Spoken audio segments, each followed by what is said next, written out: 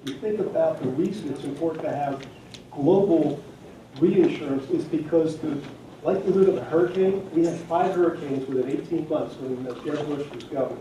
But there is no correlation between the risk of, say, a nuclear disaster in Japan or a terrorist attack in London. So reinsurance spreads the risk in a way that makes capital more efficient.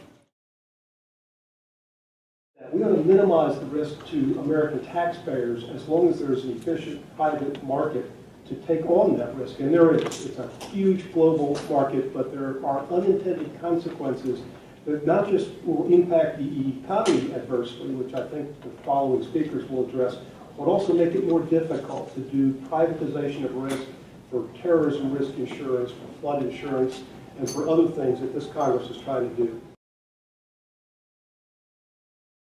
The purpose of insurance generally as an industry is to spread risk around among a diverse group of people. Diversity is its strength, not its weakness, and therefore having some risks from the United States being spread to places other than the United States is in fact a feature, not a bug of the industry as it exists now.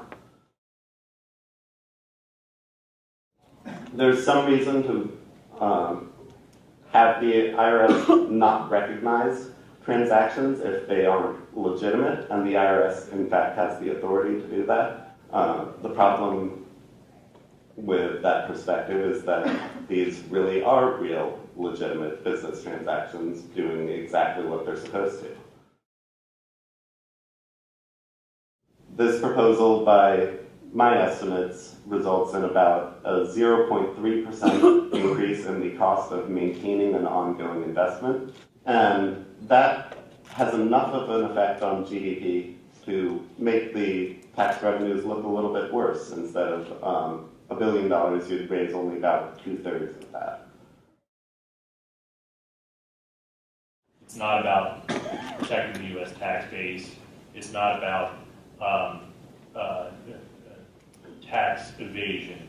It's pure and simple protectionism. It's about throwing up a barrier at the border for um, domestic providers. But this is real world implications. I mean, if you think about the types of events and disasters that reinsurance is used for, that, um, that global reinsurance is used for, terrorist attacks, large hurricanes, oil rigs blowing up, airplanes blowing up. I mean, these are enormous events that require huge sums of money. And if you have reinsurance that is the supply that gets constricted or is more expensive, by definition, you're going to have the, uh, less business, less economic activity that touches a whole lot of sectors of the economy. Very quickly, in WTO obligations, this violates U.S. obligation to provide national treatment. National treatment means you cannot treat foreign providers worse than domestics. The U.S. in return gets treated the same way overseas. So it's, it's, it's a mutual benefit. This tax applies only to uh, foreign-based affiliate reinsurers. It does not apply to any U.S.-based reinsurers. That right there ends the question of whether there's actually discrimination based on nationality. And essentially, that's what this does here. It require these foreign reinsurers who are just providing a cross-border service to pretend that they're a U.S. business, and suddenly you have to file with the IRS and be investigated by the IRS. And anybody who argues that those two things alone don't uh, aren't a significant change based on what we've seen the past few years, I think again the, the facts just um, belie it. And even the election would subject these companies to uh, uh, effective tax rates 100% higher than, than their U.S. counterparts.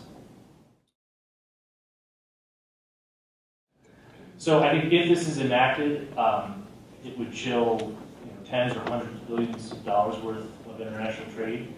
Uh, the WTO would, would authorize um, retaliation based on that amount. That's potentially billions of dollars in trade sanctions. That's bigger than anything that the WTO has actually authorized in the past. Uh, so it would very much put uh, U.S. service exporters, not only in the insurance industry, but in other sectors, at, at risk. And uh, even as Alan described it, the way it operates, it, it, it is it violates the, what has been a tenet of U.S. international tax law policy, which is very clearly would end up double taxing um, a lot of, uh, a a lot of these profits, to the extent there are profits. A key point of insurance um, is that these are real market, arm's length, market-based transactions. So you're not shifting or stripping profits out of the United States. You're uh, moving premium, and uh, you're, you're obtaining premium, and you're, you're sending the risk overseas. You don't know in insurance what, what, where the disaster is going to happen. It's not insurance if you actually know in, in the first place. So you could be sending losses overseas. Uh, you could be sending profits. That's the whole point. Uh, there's an existing long-time federal excise tax on foreign reinsurance premiums. It's 1%. 1% doesn't sound like a lot, but it's 1% applied to premiums. It's a 1% tax on revenues, not on profits. So again, if you have a large disaster event, uh, you could have losses overseas that would have been taxed at 1%. If you have very thin uh, margins, it ends up being a 1% tax could be much more high, higher effective rate than the U.S. Uh, corporate income tax. If you look at this proposal, uh, whether it's Alan or Tim's comments, I mean, equal treatment.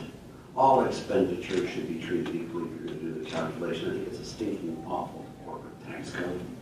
But this is the one we have. You should treat all expenses equally. This, of course, would differentiate amongst expenses, as you pointed out, Alan. Uh, if you look at GAP or uh, WTO, this would treat foreigners differently than it does Americans. These are no-brainers. The, the one I get that really, really gets to me is it violates every principle of economics you want. What you're going to take is this little bitty portion, a little tiny tax base, is the expense, and put a 35% tax rate on it. So you have a very high tax rate on a very small tax base, which violates every principle of economics you want. You always want the lowest possible tax rate on the broadest possible tax base. And, and then it, there's one other thing that just goes here, and, and to me, there's just no, there- there's no cure for stupid. When you look at this legislation, these people all, all say we've got a pay-go obligation to find revenues to pay for other things. Pay-go is wrong. You know, it is not right to use static revenue neutrality uh, to calculate what the revenues will be to make up for expenses. If that were true, why wouldn't we raise the corporate tax to 250% on all corporate profits? Then we could have a lot of revenues to be able to fund everything. Duh. You have to have dynamic scoring in this. And if you look at what the rules are for this legislation, it is really a pay-go, and that is the only argument you hear people using as to why we should do this tax, because we need the revenues for some other procedure. And that is the wrong model.